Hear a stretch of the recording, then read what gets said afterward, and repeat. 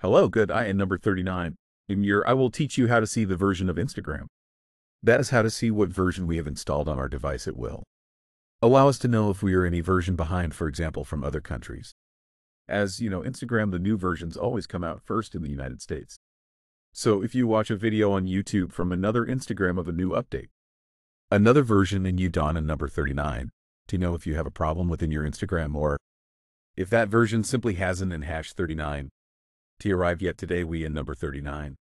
We're going to show you how to do it, but it is very simple and functional in the same way for both iPhone, iPad, and any smartphone as long as instead of the App Store you look at it in the history. Well once we enter the App Store we will look for the Instagram application. Once I have found it we will click on it as you see. Now I myself have an update. It updates the application and once it is outdated if you go down in information you will see the name and version number as you can see right here, right now, I'm going to have version 331.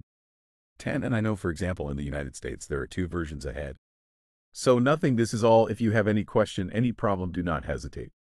To search for it on our channel, we will surely have the solution. See you later. Thank you.